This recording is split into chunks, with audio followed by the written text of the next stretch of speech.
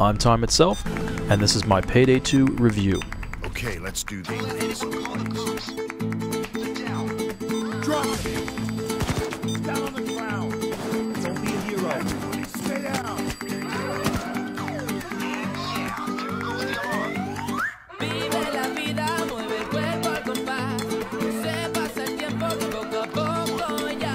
It had to be one of those two. Well, I'm 100% sure it has a blue tank. Alright.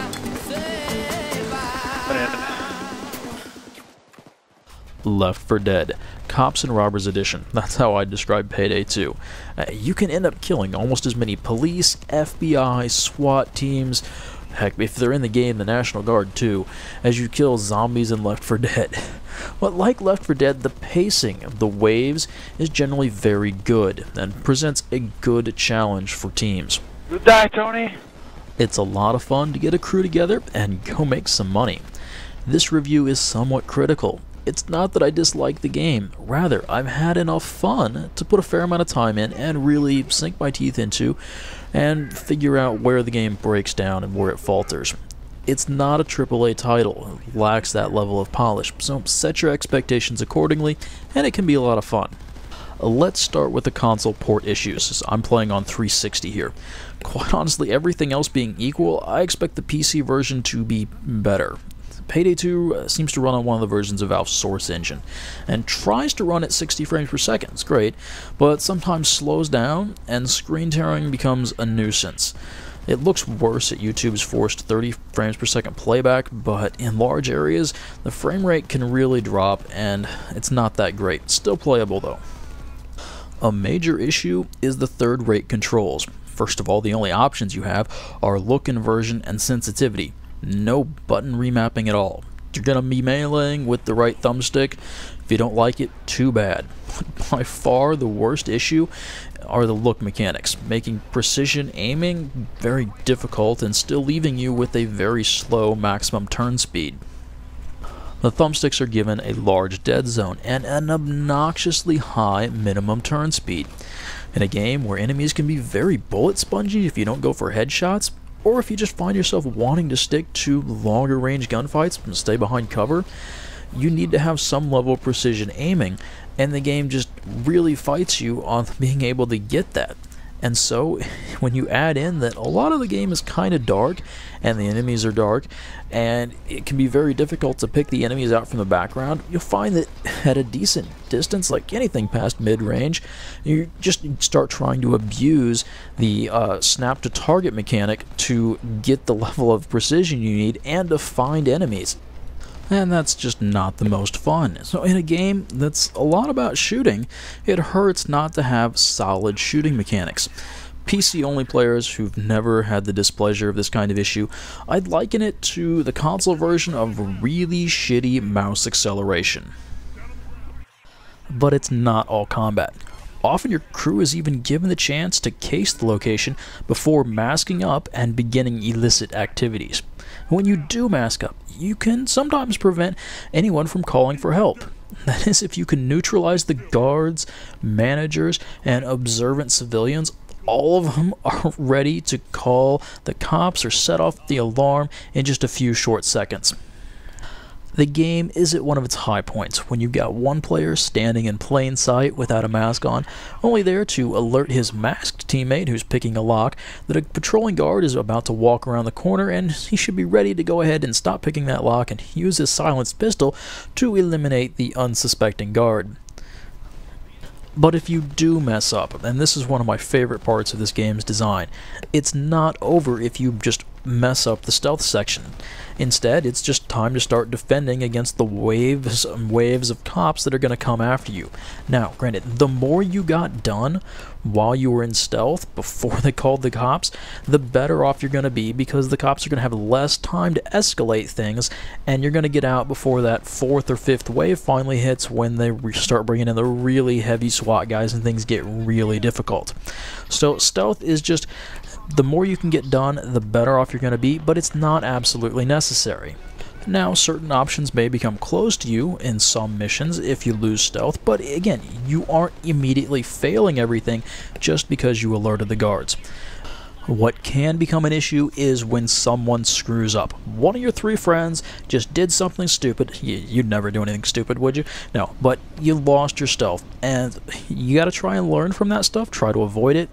At the same time, you wanna, if it was really something stupid, you have to blame the person, be like, hey, don't do that again.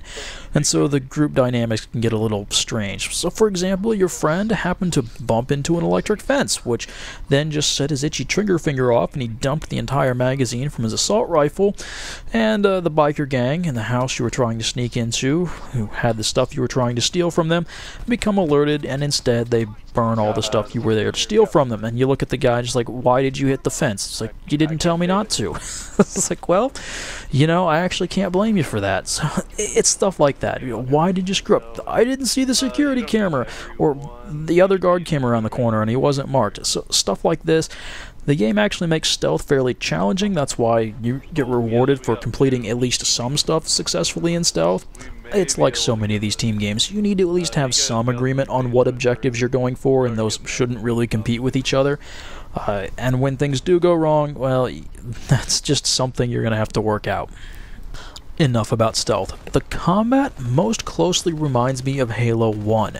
Yeah, that's a weird comparison, but it's because you've got a large, quickly regenerating shield and then a fairly sizable as well health pool that doesn't regenerate. So you're worried about going ahead and getting in a fight, and then once your shield is almost down or completely down, you take cover, wait for it to regenerate, and then pop back out. Unlike Left 4 Dead, your character will accumulate cash and level up as you finish jobs, getting your payday as it were. When you finish jobs, you'll also be given a random item, either mask related or weapon attachment, or possibly cash. Now, note that the mask related items are consumed when you combine them together to make a new mask, or weapon attachments are actually considered attached to the weapon. So if you want a suppressor on a couple different guns to switch between, you'll either need multiple of that same attachment or you'll need to pay to have it taken off and pay to put it back on again every time you want to switch where that attachment is located. Again, and they're random. I forget how many of those electro center patterns I have, but I know that as of level 48, I still don't have an optic for any of my weapons. It's kind of annoying, always using iron sights. This does avoid the, this is the exact loadout you want to use, this is the best, so you should use this and don't worry about anything else kind of scenario, because you may not have access to that particular loadout. And so you, you see a variety of things and you just have to make do with what you've got.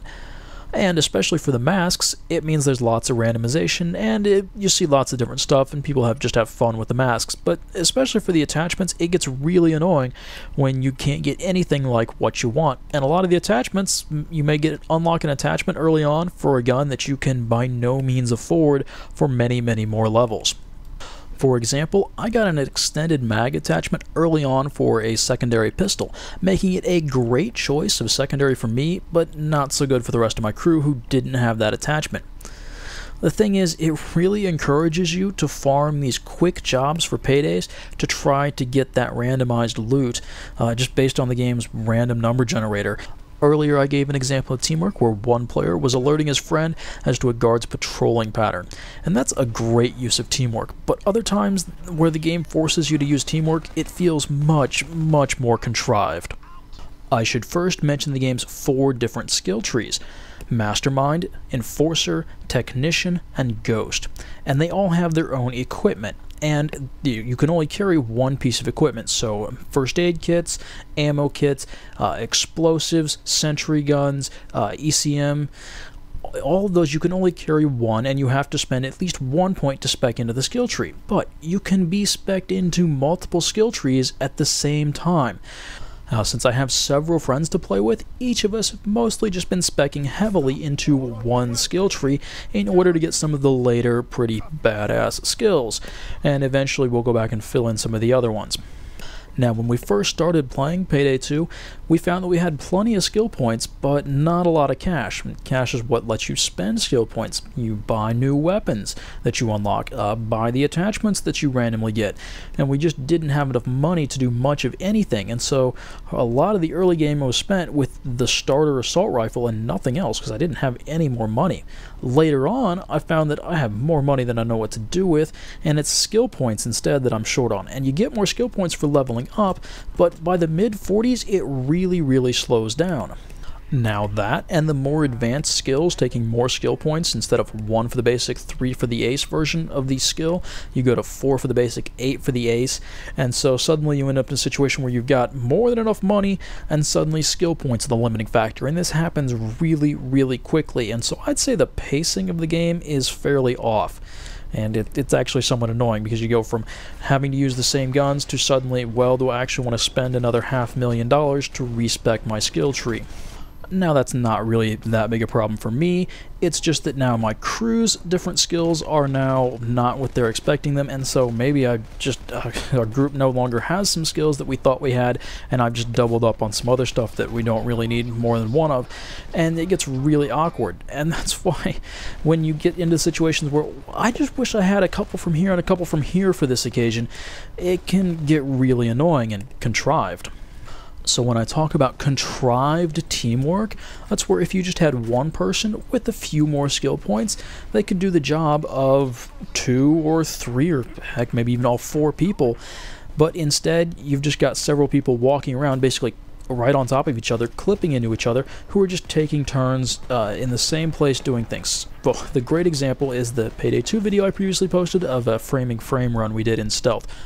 And in that run, three of us were walking around basically right next to each other because that was the only way that made sense. One of us with the quietest suppressed pistol, best chance of taking out guards without alerting the other ones and losing stealth.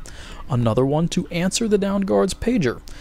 And then a third player to go ahead and bag the body and move it so that the other patrolling guards don't find it.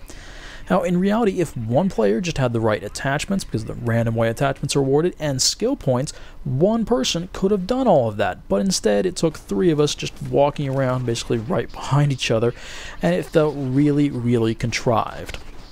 Speaking of contrived things, the writing and the voice acting in this game, well, it's it's bad, frankly, and it's one of those things where you can tell it just lacks the polish of a AAA game. Although Black Ops 2 had some cringeworthy moments in there too.